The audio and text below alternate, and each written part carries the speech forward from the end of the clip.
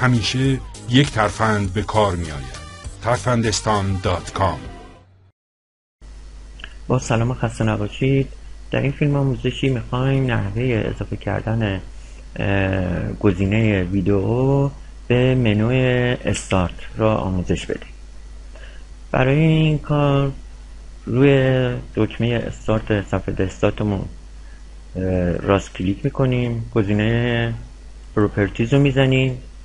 در پنجره که باز میشه روی tab Start Menu گزینه Customize رو می‌زنیم وقتی باز میشه روی گزینه آخری روی گزینه آخری روی جلوی Display as link کلیک می‌کنیم صفحایی که بازرم اوکی می‌کنیم که بسته بشه. به همین راحتی ما گزینه ویدیو رو به منوی استارتمون اضافه خواهیم کرد.